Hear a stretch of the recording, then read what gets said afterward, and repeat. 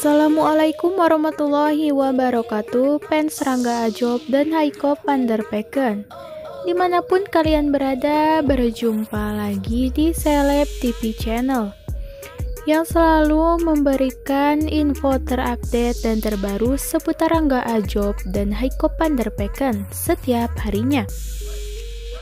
Kabar terbaru kali ini datang lagi dari dua artis cantik Sinetron Samudra Cinta Ya, siapa lagi kalau bukan Heiko van der Vecken dan Cucipa nih guys. Nah, kali ini tentunya ada kabar mengejutkan dari kedua artis cantik tersebut.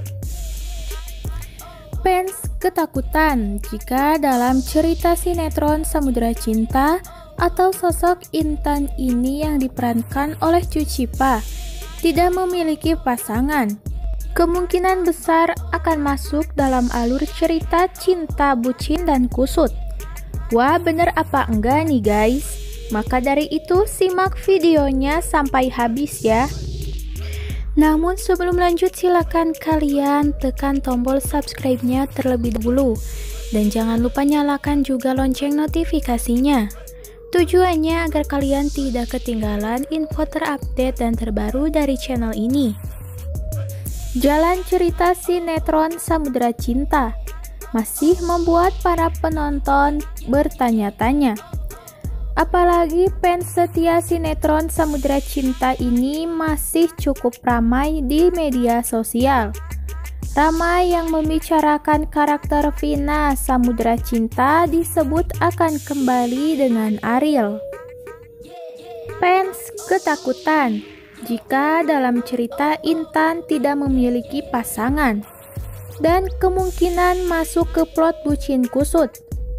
Hal ini tentu akan menjadi keributan untuk fans Samudra dan Cinta. Karena fans keduanya ingin menjodohkan Rangga Ajob dengan Haiko van der Vecken.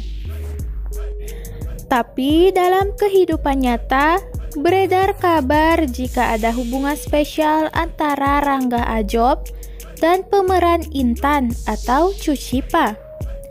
Dikutip dari Instagram Dilan Dile Angelia, update awalnya akun Face Angela dan Dilankar menyinggung tentang kabar kabar para fans tim lain terkait. Tyler Samudra Cinta malam ini 26 Januari 2021. Penulis dianggap sengaja menciptakan huru hara di kalangan fans dengan cerita Pina dibuat rujuk dengan Ariel. Tapi sepertinya Angela Gilsa mengisyaratkan bahwa Pina akan kembali ke Doni yang diperankan oleh Dylan Carr. Dan ada juga nih guys, Berita terbaru dari si cantik Neng Haiko van der Vecken yang di mana kali ini Haiko van der Vecken mendapatkan panggilan khusus nih dari pemeran Alan, anak dari Cucipa di sinetron Samudra Cinta.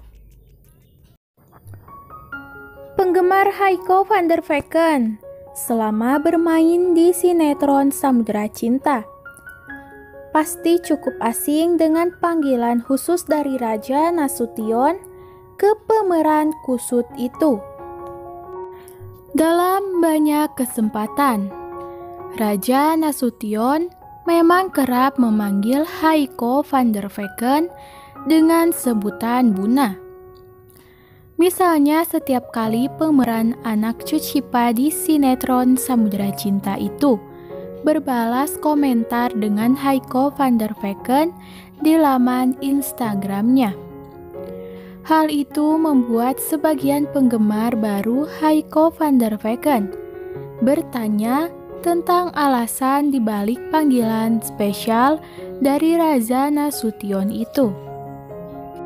Seperti dilansir dari story Instagram Heiko van der Vecken Senin 26 Januari 2021.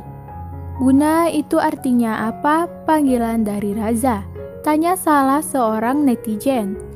Haiko menjelaskan bahwa panggilan itu ia dapatkan ketika bermain di sinetron Cinta Suci. di mana dalam Cinta Suci Heiko van der Vecken berperan sebagai Bunga, adik dari Marcel atau Amar Joni.